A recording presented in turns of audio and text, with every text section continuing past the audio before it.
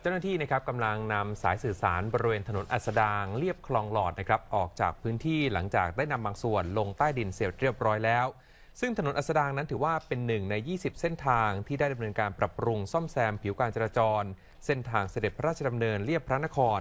จากนั้นนะครับสำนักการจราจรและขนส่งจะเข้ามาดำเนินการขีดสีตีเส้นจราจร รวมถึงมีการเชื่อมโยงระบบกล้อง CCTV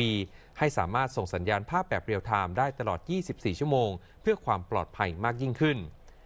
ขณะเดียวกันนะครับอาคารบ้านเรือนบริเวณริมถนนอัสดางเรียบคลองหลอดเองก็ถูกปรับปรุงซ่อมแซมนะครับทาสีให้มีความเรียบร้อยสวยงาม โดยประสานความร่วมมือกับภาคเอกชน ให้มีส่วนร่วมปรับปรุงและพัฒนาเมือง ด้วยการสนับสนุนสีทาอาคาร และถนนที่มีความเก่าแก่ และเป็นสัญลักษณ์สำคัญของกรุงเทพมหานคร อย่างถนนตะนาว ถนน 13 ห้าง ถนนพระสุเมน ถนนบำรุงเมือง ถนนเฟื่องนคร และถนนเจริญกรุงครับ ขณะที่สำนักสิ่งแวดล้อมยังได้เข้ามาตัดแต่งกิ่งไม้นะครับ รวมถึงมีการติดตั้งไฟฟ้าส่องสว่างเพิ่มเติม พร้อมกันนี้จะมีการดำเนินการปรับปรุงป้ายรถเมย์ให้อยู่ในสภาพเรียบร้อย พร้อมใช้งานต่อไปทางนี้นะครับทางกรุงเทพมหานครจะเร่งดำเนินการนะครับปรับปรุงเส้นทางเสด็จพระราชดำเนินเรียบพระนครจำนวน 20 เส้นทาง ระยะทางรวมประมาณ 7 กิโลเมตร ให้แล้วเสร็จภายในเดือนมีนาคมนี้ครับ